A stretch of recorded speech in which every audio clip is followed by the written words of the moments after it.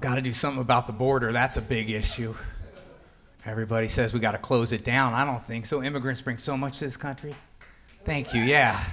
They enrich our lives in so many ways. We don't close down the border, we run it like a trendy LA nightclub, right? And just let in the hot ones.